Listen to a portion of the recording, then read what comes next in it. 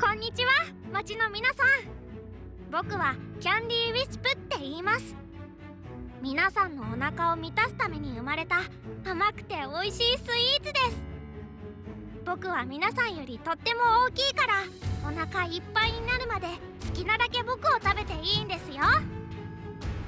どこもとっても美味しくてスイーツ好きの皆さんに絶対